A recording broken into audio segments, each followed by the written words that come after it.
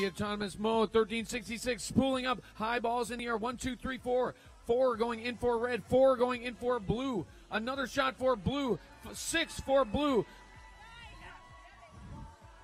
Two seconds remaining, and we are good. Blue with the lead. Three, two, one, go.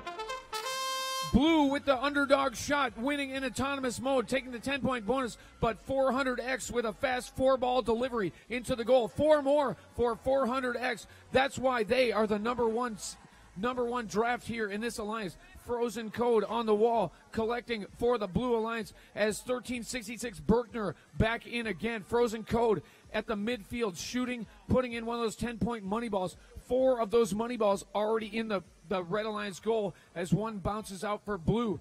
86 59, shooting all the way across the field and 400X in the back, lining up, dropping those balls, high arcing shots all the way down the field from that Vesuvius robot, cleaning the floor, coming back home.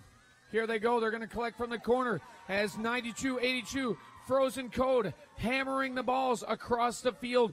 50 seconds on the clock. Still anybody's game as 400X unleashes their fury. Field hands on the on the goal, holding the goal steady as the robots pounding the goals apart. We got 38 seconds on the clock as 400X completes their assault on the goal.